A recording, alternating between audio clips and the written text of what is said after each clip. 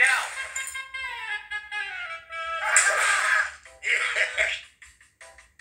Thanks, lad.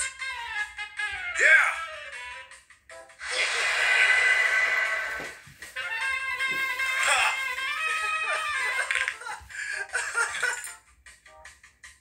Look at this.